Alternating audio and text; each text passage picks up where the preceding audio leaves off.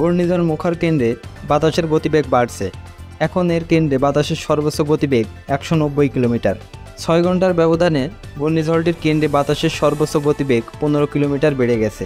শনিবার বেলা আড়াইটায় আবহাওয়া অধিদপ্তরের দেওয়া পনেরো নম্বর বিশেষ বিজ্ঞপ্তিতে এ তথ্য জানানো হয়। এই বিজ্ঞপ্তিতে আরও বলা হয় অতি প্রবল ঘূর্ণিঝড় মুখার কেন্দ্রে চুয়াত্তর কিলোমিটারের মধ্যে বাতাসের একটানা সর্বোচ্চ গতিবেগ ঘন্টায় একশো সত্তর কিলোমিটার। এটি দমকা অথবা ঝড়ো হওয়ার আকারে একশো নব্বই কিলোমিটার পর্যন্ত বৃদ্ধি পাচ্ছে। এছাড়া সর্বশেষ বিজ্ঞপ্তিতে আবহাওয়া অধিদপ্তর কক্সবাজার সমুদ্র বন্দরের আগে দেওয়া আট নম্বর মহাবিপদ সংকেত নামিয়ে তা দশ নম্বর দেওয়ার কথা জানায়।